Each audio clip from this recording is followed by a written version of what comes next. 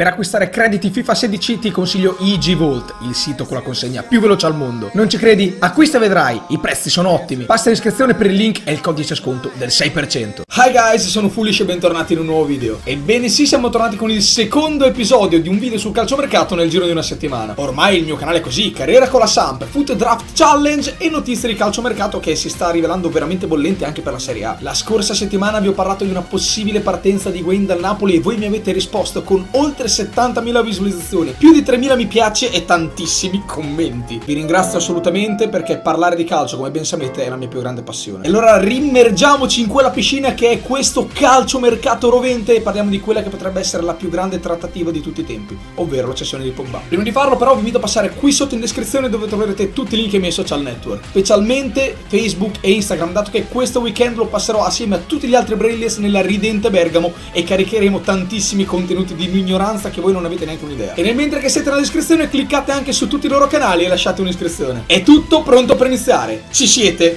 Si parte!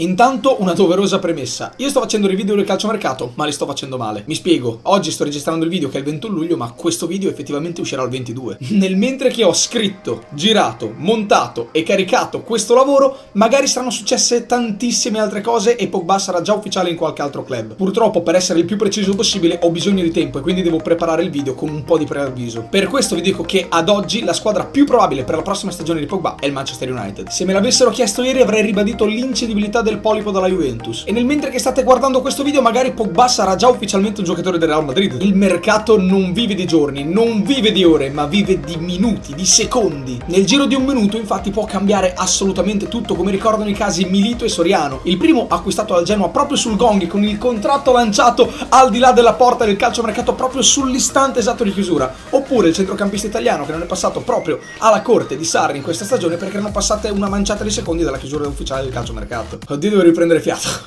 Certo è che qui stiamo parlando del colpo più importante in assoluto di tutti i tempi, economicamente parlando. Ma andiamo con ordine. Nella giornata del 20 luglio lo United sembra aver chiuso ufficialmente per il francese. Offerta mostruosa di circa 260.000 euro a settimana che equivalgono a 13 milioni e mezzo di euro all'anno. Una cifra pazzesca per chiunque, specialmente nel bel paese. Ad oggi la Juve arriva a guadagnarne circa 5. Alla Juventus andrebbero più di 100 milioni di euro, ma la trattativa non è ancora conclusa perché Minoraio la richiede più di 20 milioni per il trasferimento del suo assistito. A Torino non ci stanno e vogliono 120 milioni puliti, lasciando poi discutere degli eventuali aspetti tecnici ed economici il procuratore e il club inglese. La notizia vera e propria è che nella notte tra il 20 e il 21 luglio torna in carica Real Madrid. La Juventus aveva ribadito l'incedibilità assoluta del giocatore quando lo chiesero i merengues, ma ora il fortino bianconero sembra iniziare a scricchiolare e quindi i campioni d'Europa in carica sono tornati all'assalto per portare a casa il ragazzo. E per la Juve questa non può che essere una fortuna. Se si è davvero arrivati a decidere di cedere Paul, che almeno si scateni l'asta. L'ho già ribadito mille volte, se la Juventus vuole davvero arrivare a vincere la Champions League questa stagione non può privarsi di Paul perché di centrocampisti sul mercato così forti in giro non ce ne sono. Se si è arrivati a questo punto è assolutamente perché il ragazzo ha puntato i piedi e ha deciso di partire. E secondo me fa bene se vuol provare una nuova esperienza, ma non al Manchester United. Insomma, la Juventus lo prelevò proprio dai Red Devils a meno di un milione di euro. Paul fu fatto partire senza rimorsi e ha spesso dichiarato di non voler mai più fare ritorno a Manchester. Inoltre lo United non gioca la Champions, quindi dovrebbe concentrarsi unicamente sulla Berkeley Premier League. Secondo me sarebbe un passo indietro nella sua carriera, nonostante Ibre Mourinho. Al Real invece andrebbe a giocarsi le sue carte. Certo, sarebbe meno al centro del progetto, ma guadagnerebbe comunque gli stessi soldi e andrebbe a giocare in una squadra di prestigio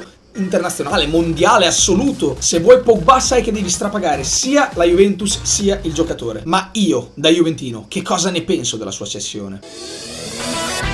Penso che la Juve, come ribadito altre mille volte, in questa stagione volesse tenere assolutamente il giocatore di fronte a ogni offerta. Se non vendi Pogba in questa stagione a 120, lo vendi alle stesse cifre nella prossima. Sia che sia una stagione positiva, sia che sia una stagione negativa. Ormai Paul Pogba è un brand. Certo, la plusvalenza è allettante e queste cifre non sono solo fuori mercato, ma fuori da ogni morale. Parliamo di milioni di euro come se fossero nocciolini perché siamo sempre più abituati a un calcio dipendente strettamente da marketing e business. Non credete che United e Real Madrid faccia un investimento a comprare Pogba, perché sapete quanti milioni di maglie devono vendere per ritornare di tutti quei soldi spesi? Dovresti circa far acquistare un tir di magliette ad ogni persona che vive nel mondo. Quando De Laurentiis parla di fatturato, ha parzialmente ragione, perché essendo la Juventus una società forte economicamente, deve arrendersi di fronte a simili mostruosità etiche. Se pensiamo che i giocatori più pagati nella storia sono stati Ronaldo e Bale a 100 milioni, viene da sé pensare che vendere Pogba a 120 sia un affare. Ma questo avviene proprio perché la Juventus non ha necessità di venderlo. La cosa strana, a mio avviso, sono solo le tempistiche. La Juve ha sì investito sul mercato, e tanto, ma non ha in rosa al momento un giocatore in grado di sostituire Pogba. Pjanic è arrivato perché Marchiso è fuori a tempo indeterminato e Chedira non è in grado di giocare più di tre partite consecutive senza farsi male. La Juve, ora come ora, e addirittura senza Pogba, ha una coperta cortissima a centrocampo. E se vai a cercare di acquistare un centrocampista di qualità come Matic, Andre Gomez, Wissel o Brozovic dopo aver ceduto Pogba, la gente ovviamente tende a farti strapagare anche i loro giocatori perché sanno che tu hai i soldi. Per questo sono stupito, la Juventus ad oggi ha acquistato senza avere le rete di Pogba e va acquistato prima della sua partenza. Per come vede il calcio Allegri servirebbe assolutamente un buon palleggiatore. Ecco perché preferirei cedere Paul a Real Madrid perché lì gioca un giocatore che ha dimostrato di saper benissimo gestire il pallone e risponde al nome di Tony Cross. Pogba è un giocatore unico nel suo genere, come lui non c'è nessuno, ma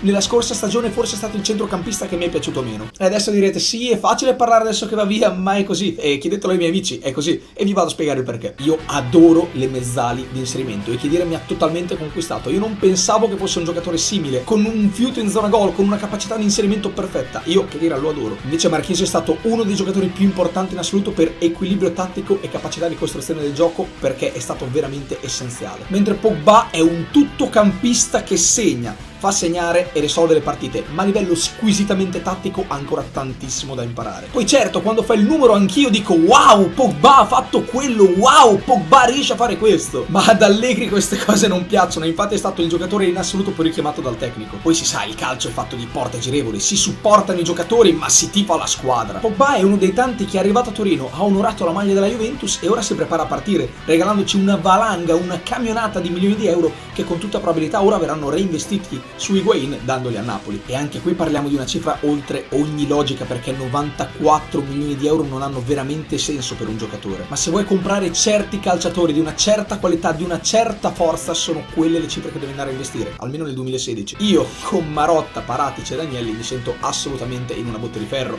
perché se hanno deciso di vendere Pogba, sanno già su chi devono puntare per la prossima stagione. Ed io, in cuor mio, mi auguro sinceramente che sia quel tedesco che gioca nel Real Madrid.